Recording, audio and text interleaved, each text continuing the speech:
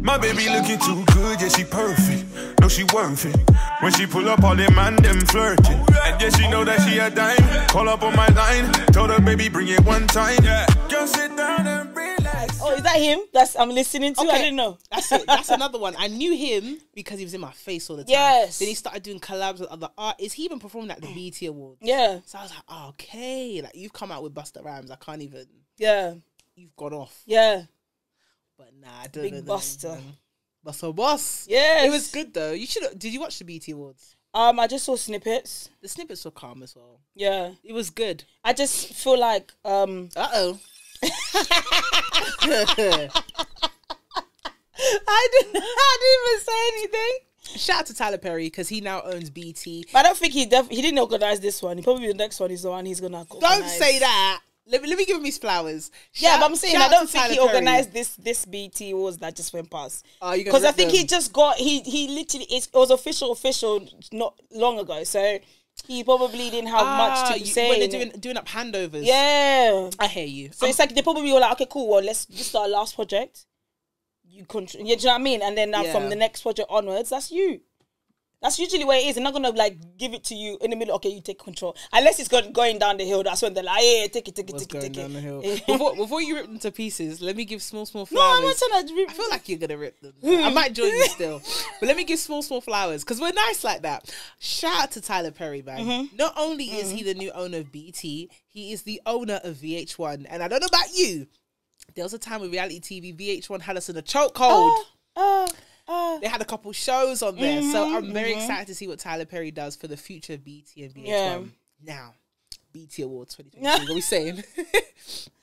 um, I don't know because I haven't watched it, so I can't really give like a like a full on Mm. like this girl, bro.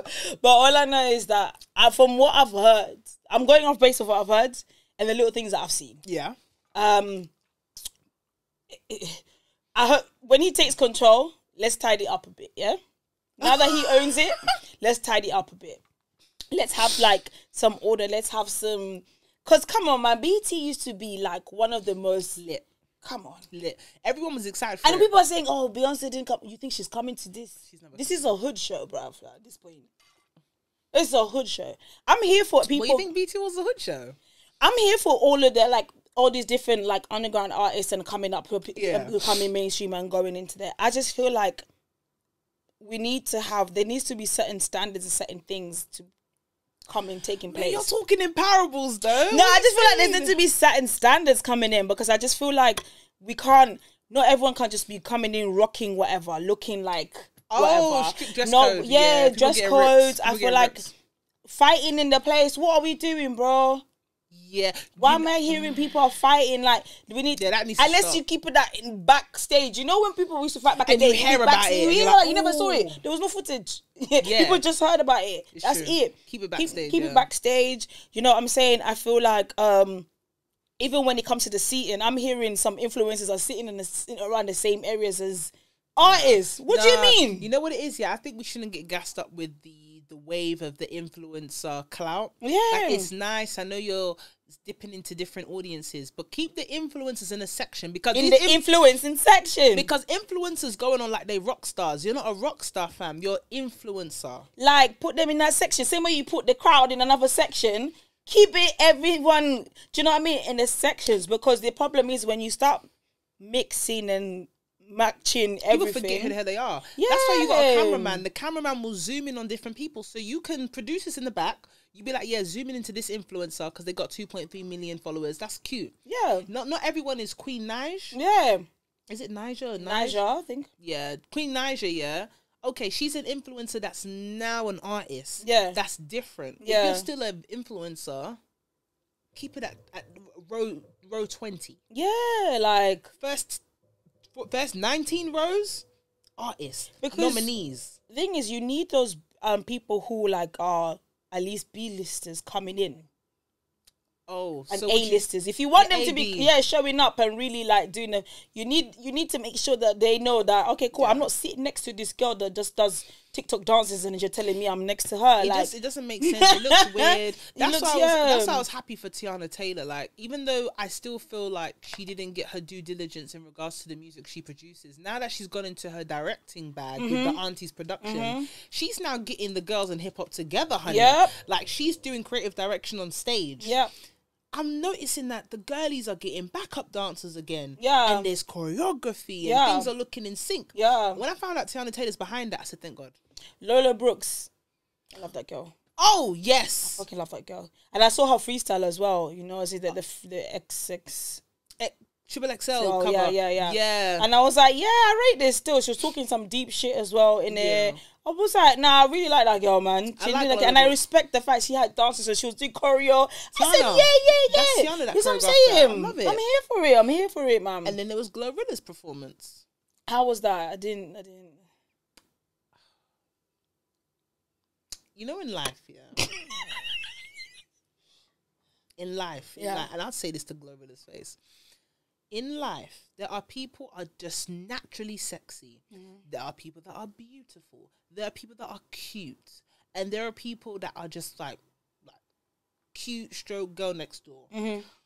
when maybe it was the choreography, I don't know who's behind it on stage for her performance. A lot of people said that she was forced to do that. She shouldn't be forced to be sexy. She's a hood chick. Let her be a happy hood chick. Yeah. She must have come on saying, No one forced me to do it. I was happy to move in that way. The problem is, when you don't move well, people start to question it. Mm-hmm. So either you get trained up on how to move sexy and, and movement. They have directors for movement specifically on video shoots Yeah. get someone to train you up or just it's not your lane babe Mm. because when she did it i felt uncomfortable looking at her Okay.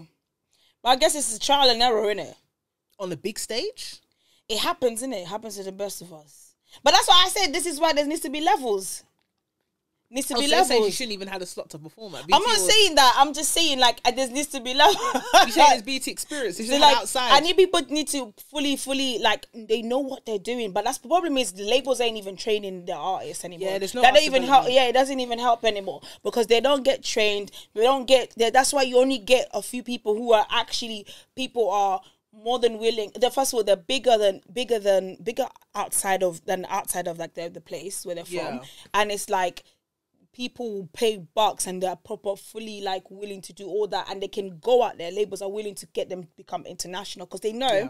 this person knows what they're doing. But there's only a few of them because everyone else is being left. The people that can know what they're doing are the older generation. And Uh, you guys are watching this episode. Yeah. You haven't even subscribed. It's quite rude Very. rude i really thought we had a great relationship here but it's seeming like it's a one-sided thing and i hate a one-sided thing Yeah, don't you, you know what I mean? Like, come on now. You know what to do. You know what to do. Subscribe, mm-hmm. follow, okay share, i'm right comment. all right Don't play with me. never doubt all right let's get back to the episode No, she worth it. When she pull up, all them man them flirting. And yeah, she know that she a dime. Call up on my line. Told her, baby, bring it one time. Yeah. Girl, sit down and relax. Girl, let me put it on you. No time for chit chat. Because she move like a queen, and I like what I see.